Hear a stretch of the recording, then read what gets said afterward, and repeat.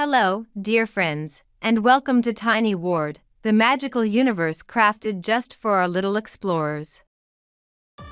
Once upon a time in a small village, there lived a little girl named Lasia.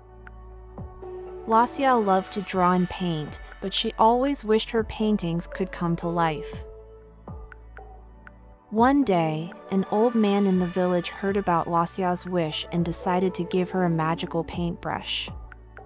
The old man said, Lasya, this paintbrush has a special power. Whatever you paint with it will come alive. Excited, Lasya took the magical paintbrush and decided to paint a beautiful rainbow. As she swirled the colors on her canvas, something amazing happened. The rainbow she painted leaped off the paper and hung in the sky above her. Lasya couldn't believe her eyes. Overjoyed, she decided to paint a friendly elephant next. The moment she finished painting, a real life elephant trumpeted happily in her backyard. Word spread quickly about Lasia's magical paintbrush, and soon, children from the village gathered around her house, eager to see the wonders she could create. Lasia painted flying birds, talking trees, and even a small dragon that blew bubbles instead of fire. As days passed, Lasia used her magical paintbrush to bring joy to the entire village. The once dull streets were now filled with colorful flowers, and the village had become a magical wonderland. One day, Lasia met a sad little boy who had lost his favorite toy.